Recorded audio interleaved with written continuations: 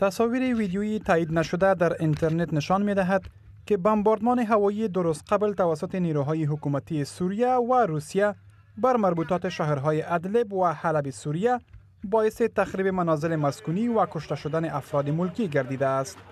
در تصاویر گرفته شده از مناطق شمال غربی شهر ادلب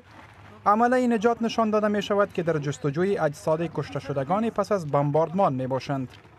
بر اساس گزارش ها در نتیجه یک بمباردمان جداگانه در اطراف شهر حلب حداقل دو تن کشته و سه تن دیگر مجروح شده اند.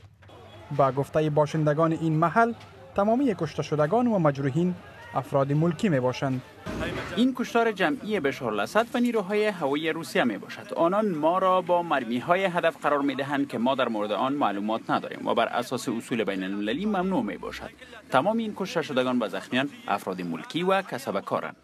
پس از حملات نیروهای حکومتی سوریه برای تصرف مجدد ساحات از دست رفته شهر حلب و اطراف آن هفته ها شاهد جنگ شدید بوده است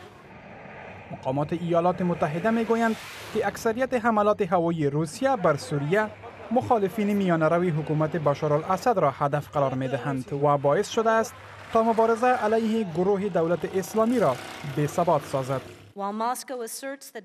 مسکو هدف از حملات خود را سرکوبی جنگجویان گروه دولت اسلامی می خاند. اما اکثریت حملات هوایی روسیه بر نقاط صورت می گیرد که رژیم اسد آن را به مخالفین میانه رو در هما، هومس، حلب و ادلب از دست داده است.